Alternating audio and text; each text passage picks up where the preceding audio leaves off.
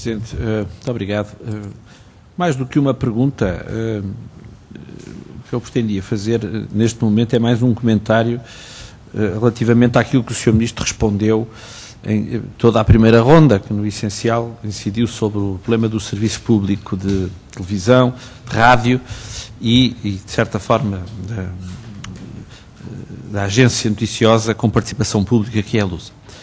Isto para dizer que tudo o que o Sr. Ministro aqui referiu relativamente à necessidade de contenção de, de gastos, de parcimónia na gestão dos recursos públicos, nada disso justifica a decisão de alienação da participação do Estado na Lusa e da alienação de uma parte, de, pelo menos de uma parte, da, da, da RTP.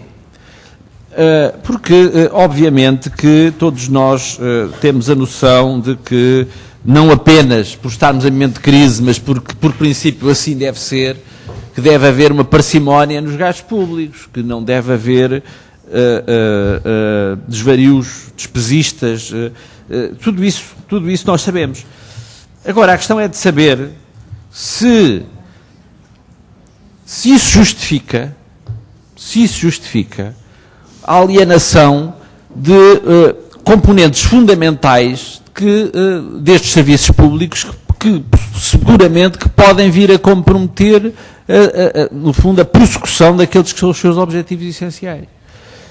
Ora, o que, o que me parece evidente é que aquilo que motiva o atual governo na sua política relativamente ao serviço público de rádio e televisão não é a contenção dos gastos públicos, porque isso o Governo poderia, obviamente, tomar medidas nesse sentido, mas, mas, o que o motiva para a alienação tem que ver, essencialmente, com uma questão ideológica, que é a subestimação da importância do serviço público e a, sua, a concepção do serviço público como algo de residual, não é? E que não tenha uh, o impacto social e cultural que efetivamente deveria ter.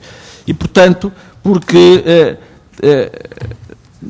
nada do que o Sr. Ministro aqui, aqui, disse justifica a opção política do Governo de uh, segmentar o serviço público por forma a alienar uma, uma parte, uh, obviamente, fundamental desse serviço, da empresa RTP, e que, evidentemente, não poderá deixar de condicionar o, o, o, funcionamento daquilo que vai restar, que vai restar dessa dessa empresa. Eu gostaria apenas de saber uma coisa, e isso é que é mesmo uma pergunta, que tem que ver com, com o seguinte. Uh, enfim, o Sr. Ministro talvez diga que os advisors vão esclarecer isso.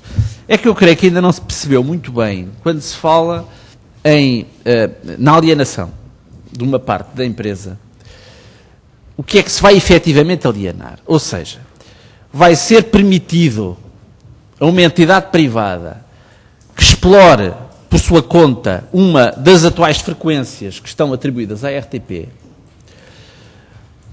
ou se, uh, ou se é uma parte da própria empresa, mesmo em termos fisicamente concebidos, que vai ser alienada a um, a um investidor privado.